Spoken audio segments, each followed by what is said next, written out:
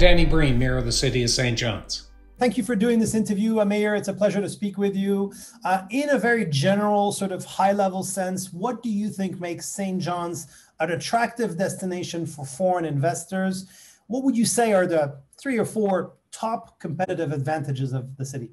St. John's uh, has a, has a lot of advantages in in terms of attracting investment. It's certainly one of the twenty uh, led one of the 20 cities um, uh, categories in North America for the competitiveness of the taxation and and uh, and and other business operating costs to uh, for for research and development.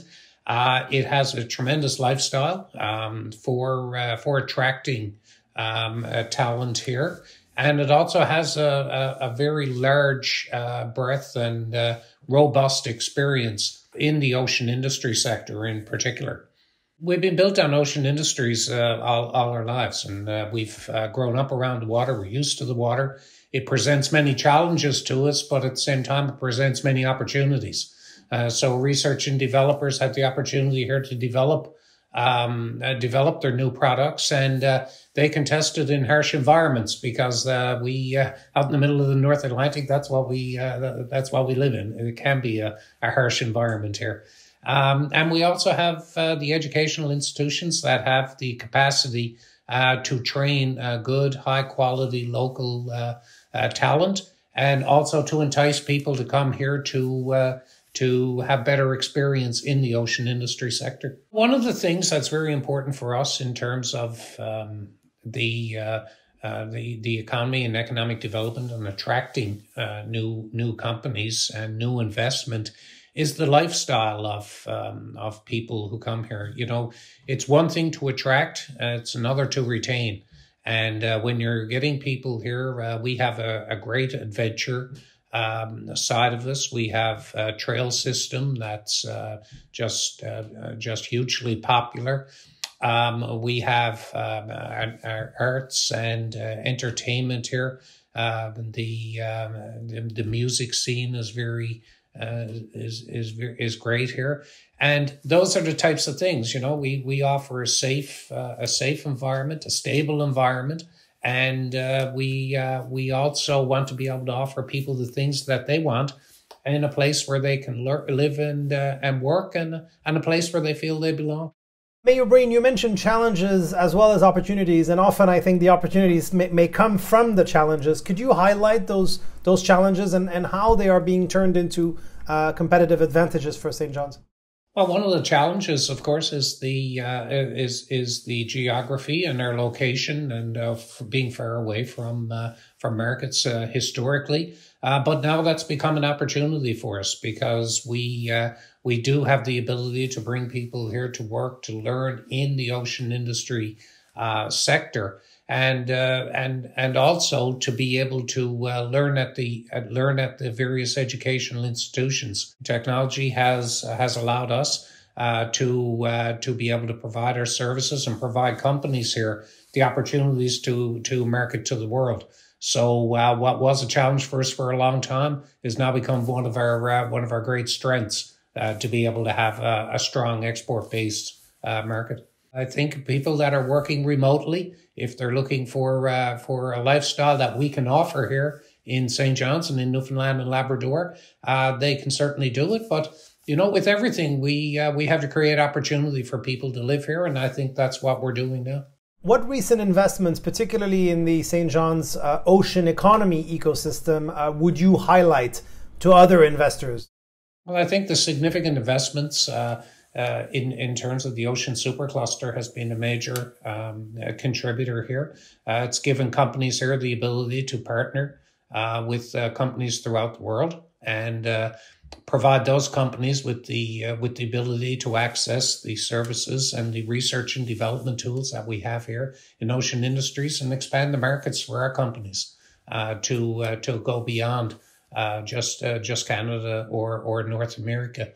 And uh, if you look at the investments in the educational institutions, the uh, uh, the research facilities that we have here, uh, both in in the ice ice area and in the having the largest flume tank, um, we have the facilities here that that are available now to companies to come here and do their research and development and set up shop.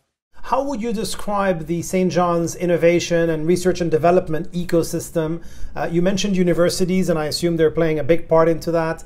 Uh, what other players would you like to highlight? We've had significant successes, and when you look at the tech sector, um, you know, you look at the Verafin and its uh, its acquisition by Nasdaq has been a big uh, boost, and not only uh, not only a, a, boost for that uh, for for that company, obviously, uh, but a big boost in the in the whole startup sector here, where people uh, see successes and new people beginning new ventures, see the success of of Verafin and other companies here, and uh, and are now uh, you know they're encouraged by that success.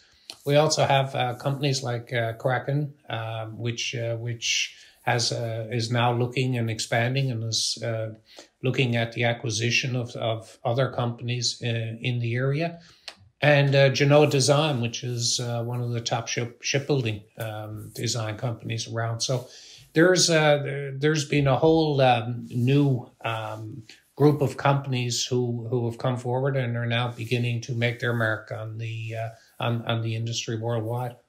I'm sure you've traveled in different parts of Canada and the world, uh, and, and, and, and of course, you would have taken the opportunity to talk to people about St. John's, the region, and Canada. What are some misconceptions that you find yourself often having to, to sort of rectify? Well, I think people are surprised when you when you explain to them that you know you can you can leave St. John's and uh, and whether you're going to Toronto, but you know they think it's a long distance from Toronto. It's about saying flight as you're going to take to get to London. Uh, so we are actually pr- pretty centered when you look at it in that uh, in in in that realm. So that's that's the first thing. I think that people get a bit uh, bit concerned about the geography, but when it's explained to them, it, it, it seems to to make sense. And of course, geography is starting to mean less and less um, in terms of um, industry and, and the economy as you move forward the ocean industries represent uh, a significant portion of the of the ocean industries in Canada, and uh, if you look at the uh, the historical uh, fishing um, um, fishing communities, which sometimes they see Newfoundland at, we still uh, we still have a very strong uh, seafood industry. but we have we have a strong offshore oil and gas industry too, and we have a, a strong tech sector and uh, you know and there is such significant potential in it that that's really what people uh, people need to see and what we try to explain to people every day what about um, the, the, the region's uh, locals and their perception of foreign direct investment at times of course in the business community most people would say yeah the more the better but but people can also have sort of negative you know perceptions of foreign direct investment would you say um, you know, the people in St. John's and in the region are, are generally favorable. And yeah, what what what what would you tell them is the value of foreign direct investment? I think the people here see uh, foreign direct investment uh, and, and, and the value that it brings. I think we've seen it in the oil industry um, over the uh, since its inception back in the I, I, guess now is back in the seventies, uh, and we've seen what investment has done for us, and we've seen uh, what a what a change the oil industry has had uh, on our on our life on our lifestyle here in in Newfoundland Labrador and the opportunities that it's given uh, people. And now we see that that transition those companies are now involved in the transition as our as our economy transitions and our industries do. And we see them as as being a major part of that. And they're here and uh, we're working with them as we transition uh, into the new economy. So, if you had uh, sort of a, a mosaic of, of, of, of, tiles in front of you with, you know, let's say a hundred foreign investors from every corner of the world, um, what would be your sort of 30 seconds pitch to them? What would be the main things you would highlight to try to convince them to take a closer look? I think they have to look at the uh, at the at the province itself, the people that are here, uh, the the caring nature of the people, how we uh, how we all pull together and, and help each other. We have to look at the quality uh, of the um, uh, of of the facilities here, the education, the uh, the quality of the talent that we're producing here in in this province, and and the people who want to uh, want to come to our province because we're seen as world leaders in the ocean industries and uh, and the ocean sciences. Our ability to retain their employees here in a very competitive labor market, people are going to want to come to Newfoundland and they're going to want to stay once they live here.